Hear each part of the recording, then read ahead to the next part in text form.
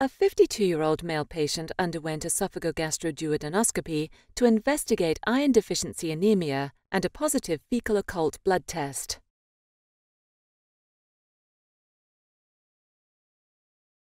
Previous ileocolonoscopy was normal. The patient was on chronic NSAID therapy for chronic lower back pain without using a proton pump inhibitor. Gastroscopy showed streaks of hematinized blood both in the body and the antrum of the stomach without clear ulceration. The duodenal bulb appeared normal.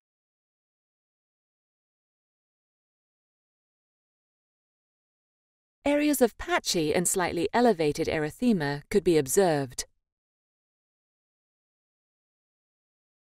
Additionally, the mucosa was quite friable.